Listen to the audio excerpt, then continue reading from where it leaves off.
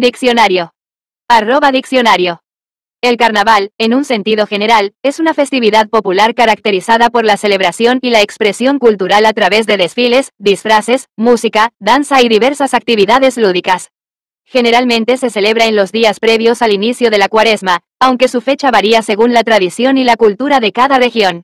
El carnaval es conocido por su ambiente festivo y desenfrenado, donde las personas participan en actos de alegría y liberación, a menudo desafiando las normas sociales.